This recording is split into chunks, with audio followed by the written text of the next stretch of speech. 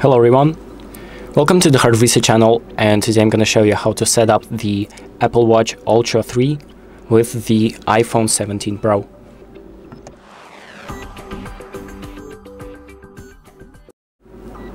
So this is the new Apple Watch Ultra 3 and this is the new iPhone 17 Pro and today we're going to be pairing the Apple Watch to the iPhone. So uh, the first thing that we're going to do, well the first thing that I suggest doing is actually restarting the Apple Watch right before the setup because uh, sometimes the Apple Watch just doesn't want to pair with the iPhone and like it doesn't let you start the setup.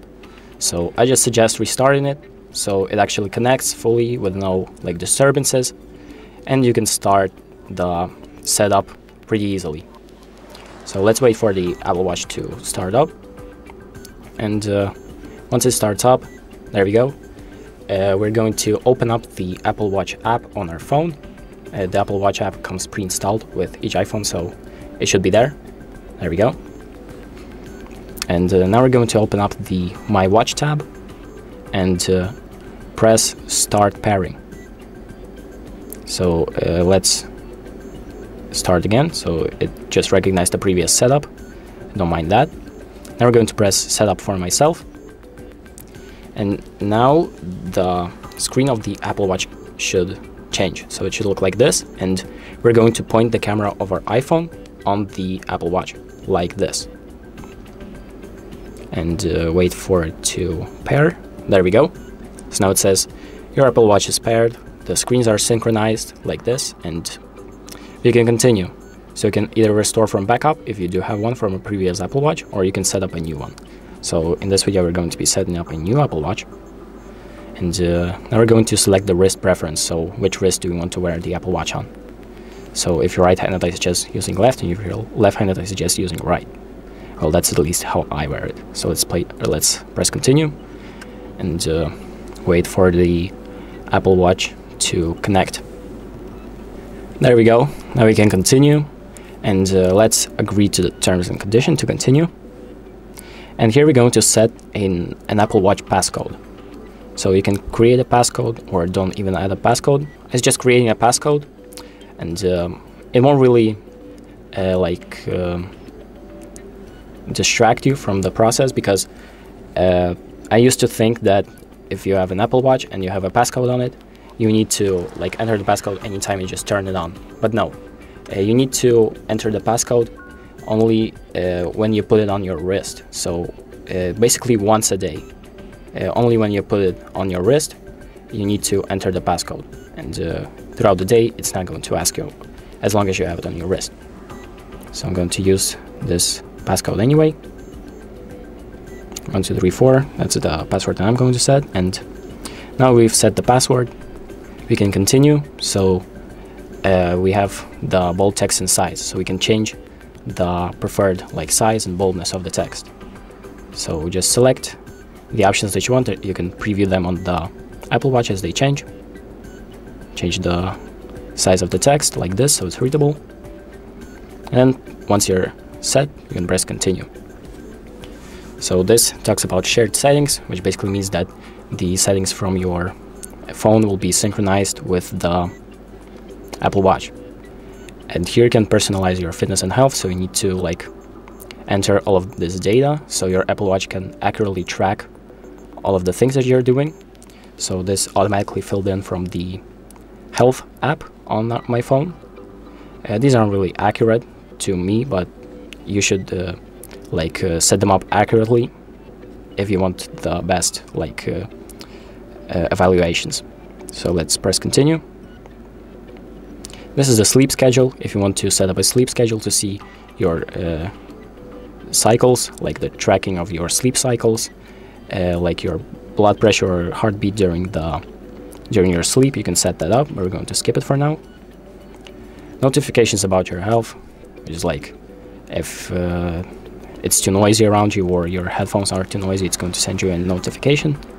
You can enable that and press continue. So this is like the safety features. You have the emergency SOS where you can call the emergencies, emergency numbers through your Apple Watch by just holding the power button and pressing emergency call.